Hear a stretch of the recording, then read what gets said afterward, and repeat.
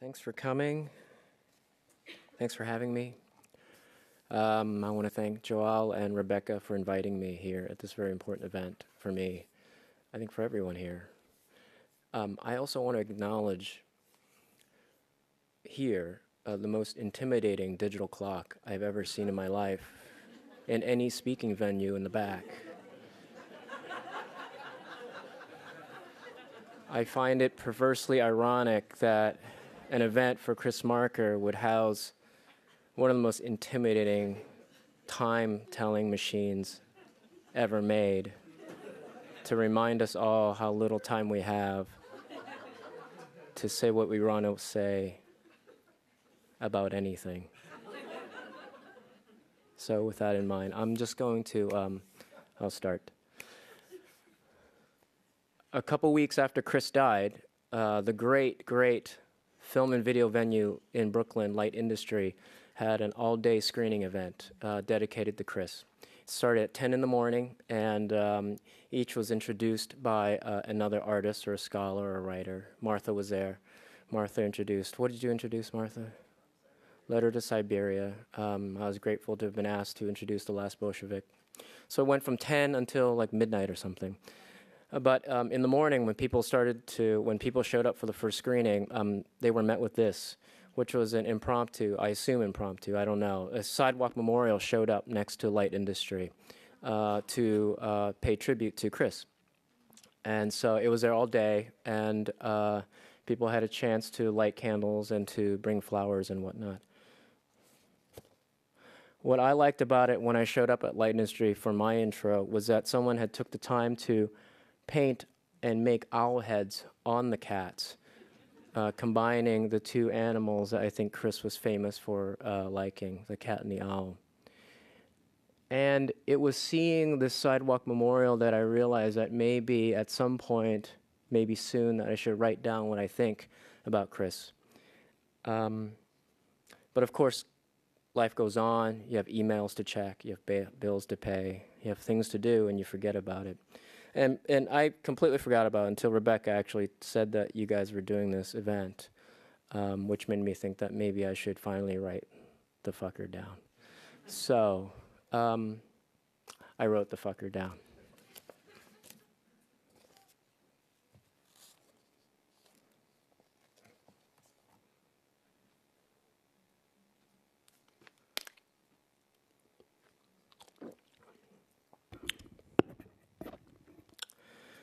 In October of 2010, I emailed Chris to ask if he was interested in taking part in a special issue of e-flux Journal that the art critic Sven Lütticken and I were editing. The issue focused on whether contemporary art had or had not addressed the rise of right wing populism in Europe, the US, and elsewhere, and how these largely nationalistic, homophobic, and xenophobic movements impacted culture and art. With the ascendancy of the Tea Party Sven and I wondered whether it was possible to chart a genealogy of right wing groups on both sides of the Atlantic and to illuminate their familial relations. Anything would do, I asked, I wrote Chris. A piece of text, an image, even an animated GIF. I had invited him to participate or take part in other things before, but, he but it never worked out. Surely, I thought, Chris would have something interesting to say about this. He did. Two months later, he replied. Hi, Paul. Sorry for the delay. I couldn't have met the deadline anyway. At an age when normal people care for the eternal salvation or go fishing, which is not incompatible, I have managed um, to put on my shoulders more daily work than I've ever had in my life. But I gave it a lot of thought to your proposal, and sadly, I must say that it doesn't make any real sense. For yes, I'm sorry to have to say this, the Tea Party movement is an isolated event. There's a mixture of bigotry, crass ignorance, and estrangement from any rational thinking that is unique in the world and as idiosyncratically American as country music or Kentucky Fried Chicken. True, there are in Europe movements that are nationalistic, homoph- uh, xenophobic, etc., and we're watching their rise with concern. But none of them fits the ideological vacuum of the Tea Partiers. Characters like Sarah Palin or Glenn Beck are just as unimaginable in Europe's politics in France, the most dangerous leader of the extreme right, Le Pen, is a cultured man who can debate geopolitical issues on the same level as his opponents. The shroud of religiosity that wraps the whole TP movement and U.S. politics at large is something unknown here, where the split between church and state is the cornerstone of the republic. Unthinkable to hear a public personality pronounce, quote, so help me God. Even, when, even racism has different roots. It relates here to the colonial empire and the Algerian War, not slavery and Jim Crow. And its expressions are strongly controlled. I saw plates and badges depicting Obama as a monkey with a banana. Anyone who would dare use such imagery here would be severely punished by law. And as if for the main topic of the TPs, the traditional American defiance against central government, it's in complete contradiction to with the European extreme rightist movements, who without exception are in favor of a stronger state. I can go on and on like this on practically every characteristic. So the only possible comparison would be at the lowest levels. All are evil, all are included, uh, and all include an impressive number of morons. Not much for food, methinks. Sorry for this long explanation of my own inability to participate. All that representing only my private views, of course, and no intent on discouraging anyone to push the comparisons deeper and surely better. But well, all I could do was a frank response. Best wishes anyway for the coming year, the year of the cat. Sharp and generous. That was uh, even when he's all he's saying is no. That was Chris, and he made a strong case. There were essential differences between the Tea Party and, say, the National Front in France or the Party of Freedom in the Netherlands what Sven and I thought as a chance for artists and thinkers to grapple with a transcontinental phenomenon that emerged in part because of the global recession of 2008 was for Chris a fundamental misreading of the political situation. The incisiveness of his critique made his declining to take part even more stinging. My only consolation was that he was at least wrong about one thing. 2011 was the year of the rabbit on the Chinese zodiac, not the cat. I thought Chris's famous affection for all things feline had clouded his astrological senses. As it turned out, he wasn't wrong about this either. 2011 was the year of the cat on the Vietnamese cat zodiac. The contours that define a life are shaped as much by what one does not do or turns down as what one agrees to or ends up doing. Bartleby is an extreme example. Duchamp's retirement from art making is as admired now as the art that he actually made. A case can be made that Samuel Beckett's major works amount to a resounding and insistent no, to perhaps the most famous yes in literature, the one which ends James Joyce's Ulysses. The road not taken leads elsewhere. This insight is available only if one is willing to entertain the possibility that saying yes does not guarantee advancement or gain and that refusing to go along with something or someone is not necessarily a kind of loss. For what is lost is often nothing more than an illusion to begin with. A renunciation is at its heart an act of disenchantment. It breaks the spell cast by what gain promises and holds up like a carrot. By not going along with the program, one is able to see a more essential reality that a carrot is usually a stick the ways in which Chris refused to go along to get along, like his insistence on not being photographed or interviewed, are as legendary as his accomplishments. It is not ironic, it is ironic to say the least, that someone so adept at making media should also be so phobic of it. But what I imagined as a personal quirk deepened into what I eventually realized was a crucial aspect of Chris that illuminated his work in relations to his life in and out of media. This realization came about uh, after my student days, as I began making work for myself and sometimes for others, but always with the idea that the work ought to align with or serve what I considered to be a greater political good. It was then that I began to realize something about media. It is fundamentally a medium for glory. To express is already, in a sense, to acclaim. Why would anyone spend the time and energy to compose with words or notes or images, if not because, for whatever reason, one believes they convey enough of what one thinks and feels to be worthy of attention, even praise? Media is what is made of this acclamative dimension of expression, when it is used to either build a public or influence one. Media glorifies what is expressed for those who want and need a public's praise in order to establish or maintain the authority one seeks, to more ably shape that same public in the image of what that authority considers good and true. The power of media to glorify whatever it is expressed through it is media's essential political character. Or to put it in vulgar Benjaminian terms, glory is the aura of media. This is certainly why, without necessarily using these terms, I made videos with and about the new labor movement in the 90s instead of paintings, or interactive online works on behalf of, on behalf of anti globalization groups post Seattle 99 instead of sculptures. Media acts as the stage where authority of all kinds is claimed and praised, even the authority to criticize authorities. I think Chris was remarkably sensitive to all this. Film, photography, and other reproducible forms of media expression have been characterized, at least since Benjamin, as the means with the power to free art from its aura of tradition and authority, uh, authenticity, which enables it to motivate a revolutionary transformation of the masses. But as far as I can tell, no clear evidence exists that justifies the idea that media is what public art for a coming, more progressive society is supposed to look like. On the contrary, it seems self evident today that media has no elective affinity beyond that which longs for glory as the power and right of authority, whatever the political orientation. Chris was, I think, someone who believed that the progress of political and historical thinking is interdependent on the development of new and emerging media forms. He placed what little faith he openly expressed in how the fate of each is bound to the other, like real lovers or genuine dialectics.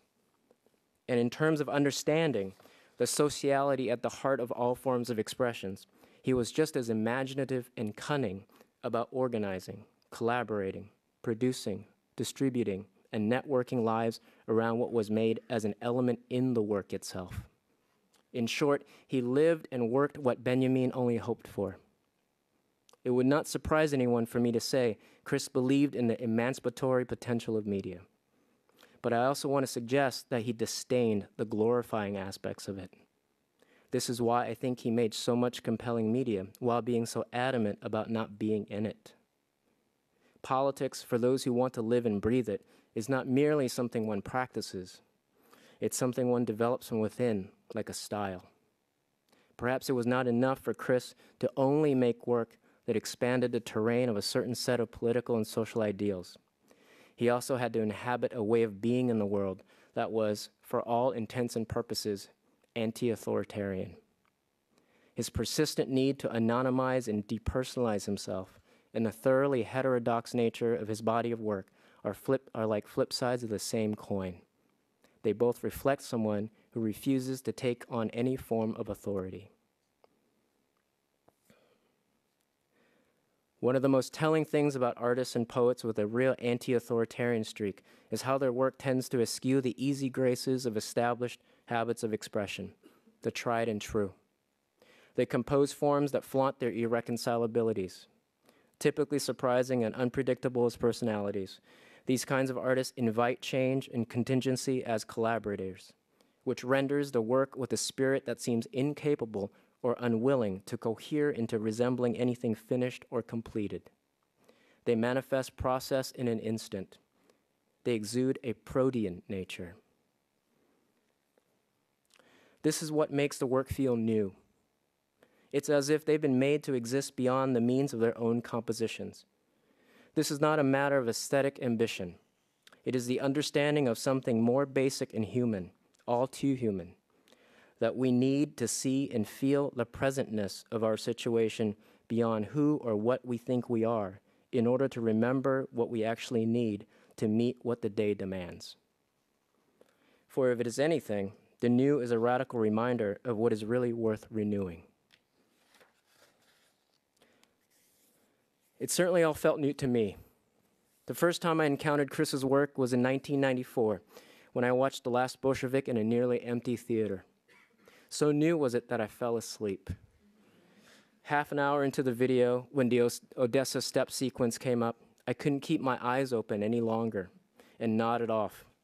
I woke up some time later, and seeing that it was still on, I closed my eyes again until nearly the very end.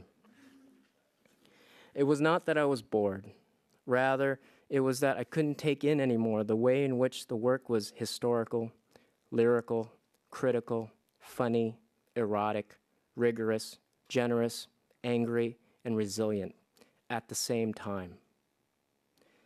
It had never occurred to me that it was possible to do that within a single composition. The signal was too strong, the frequency too high. I just shut down. This is probably more indicative of my lack of a real aesthetic and intellectual education than anything else. Since then, however, it has still been nearly impossible to find work that so deftly careens in and out of so many modes of emotional and discursive experiences while resisting at every turn becoming something that could easily be categorized. What is the last Bolshevik, really? Or, for that matter, Sans Soleil, or Immemory, or 2084, or Level 5, or his expeditions in Second Life? What is it all supposed to be about exactly?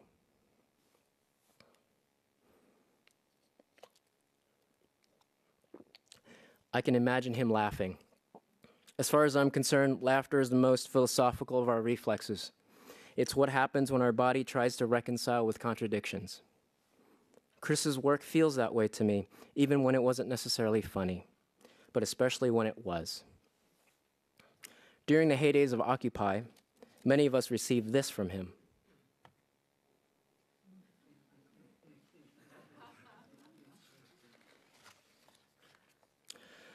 This is, this is, of course, a riff off an incident at the University of California, Davis on November 11, 2011. During a peaceful Occupy demonstration, a campus police officer began indiscriminately and nonchalantly pepper spraying students on a sidewalk. A video documenting what happened was uploaded and immediately went viral, and Chris wanted in on the action. This image was followed by others.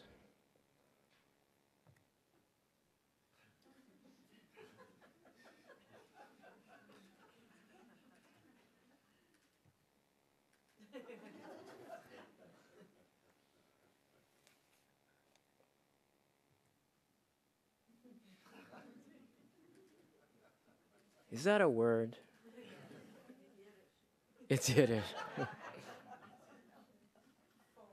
I don't know what's going on here.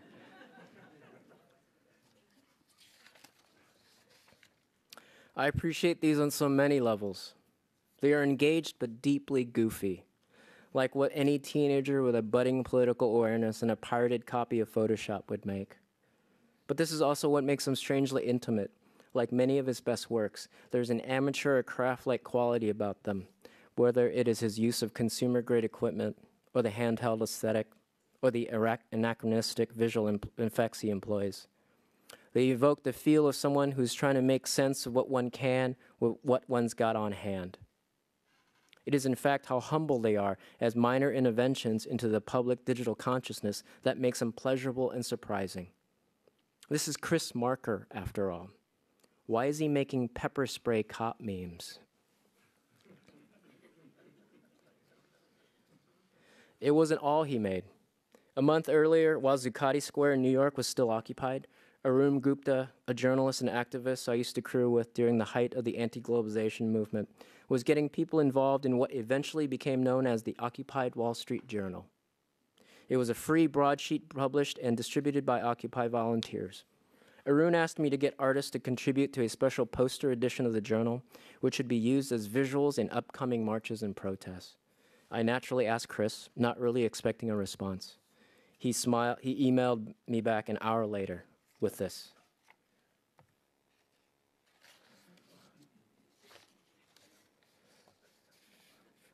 I passed it on to Josh MacPhee, an artist who was designing the issue.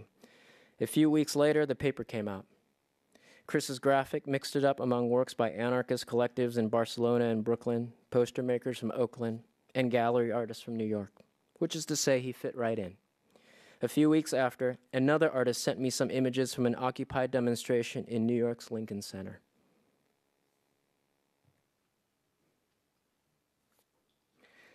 The man speaking in the middle was Philip Glass, who took time during the premiere of his own opera at the Met to speak a few words in solidarity with the demonstrators. It was a real coup for the organizers who staged the protest. But what really quickened the heart for me was this.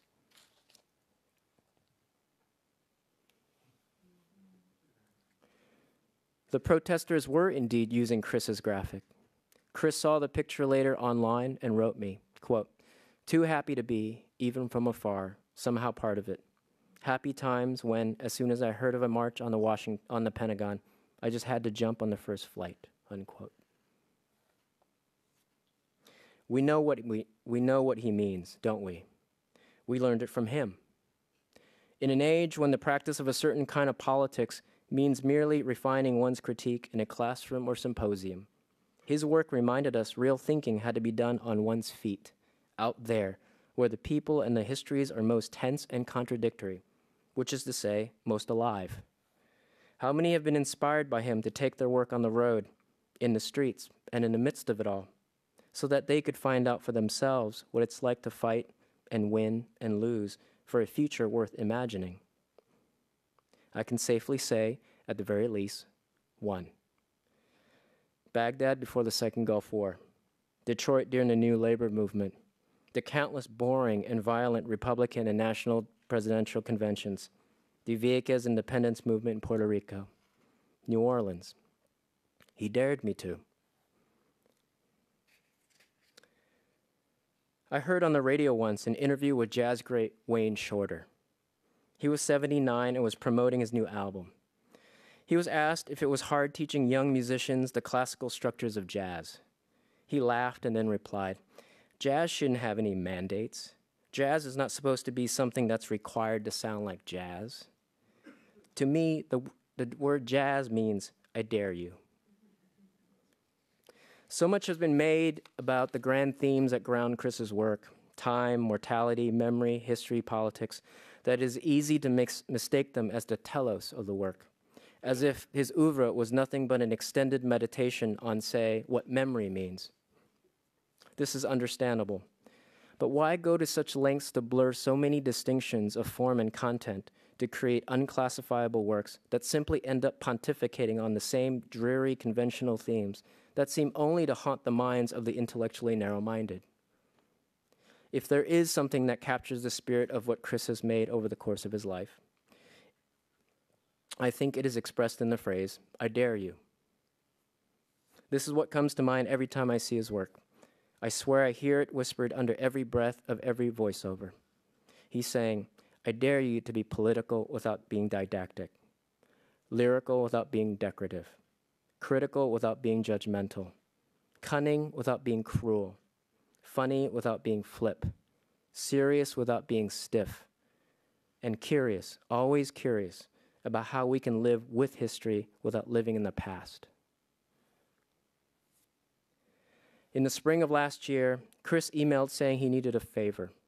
He was hospitalized and couldn't send images and wondered if, he could, if I could forward the photo of his Occupy poster from Lincoln Center to someone. I replied, saying, Of course, and if there was anything else I could do. He wrote no, and that it was the best thing anyone could do for him at the moment. He signed off by saying, Bless you. For someone who has never professed any kind of faith, it surprised me to read it. I knew then something was wrong. Out of the blue, I remembered what Franz Rosenzweig once wrote Prayer awakens the man in man. Two months later, Chris was gone. Thanks.